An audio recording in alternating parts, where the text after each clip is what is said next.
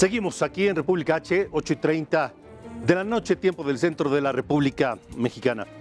Mire, ante el aumento de casos eh, positivos de COVID en México, el trámite de la incapacidad para los derechohabientes del Seguro Social y para evitar el riesgo de contagios se puede realizar ya a través de una aplicación en las eh, plataformas electrónicas. Esa es una buena noticia. Agradezco esta noche a David, José David Méndez, titular de la Unidad de Prestaciones Económicas y Salud en el Trabajo del Seguro Social, que nos acompaña aquí en República H para hablar de, de esta aplicación. Eh, David, buena noche. Gracias por estar con nosotros en, en República H. Muchas gracias, Alejandro. Un gusto platicar contigo y con el auditorio de República H. A ver, se trata de evitar eh, aglomeraciones en las oficinas del Seguro Social para tramitar este, incapacidades y demás, y se trata eh, de agilizar los trámites, ¿cierto?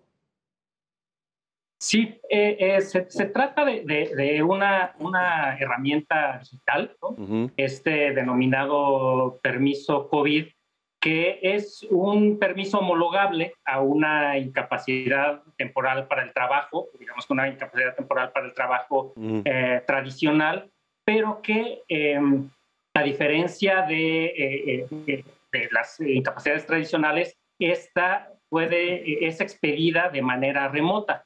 Este, este permiso está disponible desde marzo del año pasado, muy, muy al inicio de la pandemia, cuando identificamos que, dada la, la tasa de transmisibilidad de este virus, pues eh, no, era, no era una buena idea que un paciente con síntomas de COVID o con COVID eh, confirmado se trasladara a una unidad hospitalaria del instituto para tramitar su, su incapacidad. Entonces, eh, se desarrolló esta herramienta que, que eh, se denominó permiso COVID para poder solicitar y eh, expedir la incapacidad de manera remota y de esta forma detener las cadenas de, de contagio. ¿Cómo ha funcionado este mecanismo electrónico?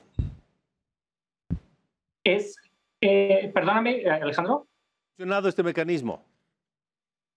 Sí, o sea, es eh, un, una eh, incapacidad que puede tramitarse a través de la app de eh, IMSS Digital o a través del portal del instituto. Los beneficios que, que otorga esta, esta incapacidad es eh, que el trabajador está protegido por ley uh -huh. para ausentarse de sus, de sus labores y eh, recibe un subsidio equivalente al 60% del salario registrado ante, ante el instituto durante la, la duración de esta, de esta incapacidad. -huh. Y eh, esta es eh, algo, algo importante, es depositada únicamente a través de un, de un, depósito, de un depósito bancario. Esto también con la idea de evitar que el trabajador acuda a una, a una sucursal bancaria, acuda a una ventanilla para, para cobrar su incapacidad. Entonces, el instituto deposita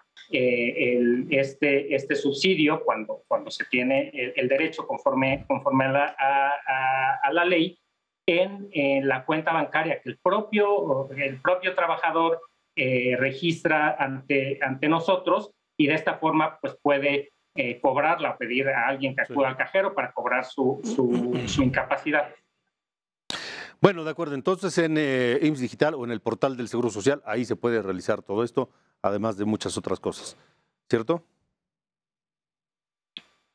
Perdóname, Alejandro, se, te, te, te, perdí. Bueno, es, te agradezco, no, no, no escuché bien. Te, te, agradezco mucho, José David, por haber estado con nosotros.